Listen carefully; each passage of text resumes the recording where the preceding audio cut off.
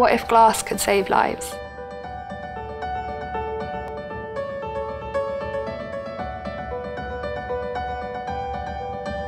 You can make glass out of a number of materials and Novel Glass focuses on the most exotic parts of these materials. The chalcogenide glass that we make here at Southampton is really unique in the fact that it can transmit both infrared and visible light at the same time.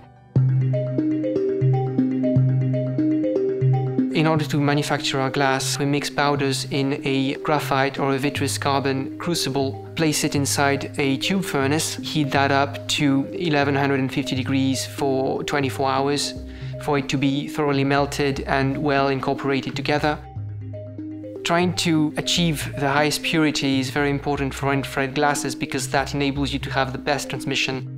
We have a flow of gas that enables to take away any volatile impurities.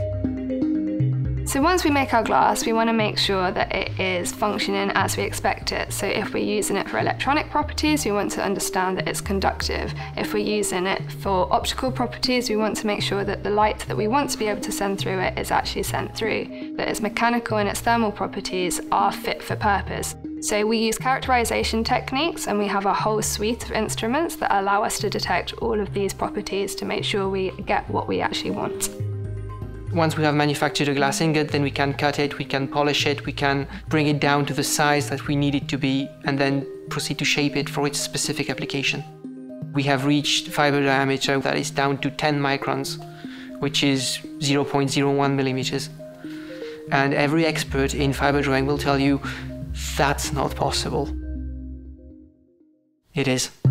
We have a lot of equipment that we've actually created and made ourselves. So that gives us the ability to really make things that a lot of other places don't have the capability or the chance to do.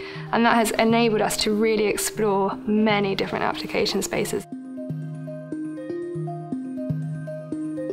So an example of how our glass can save a life is the fact that it can be used in a fibre optic cable for surgery, which can then also detect the infrared signals and allow you to have real-time detection of, for example, cancer.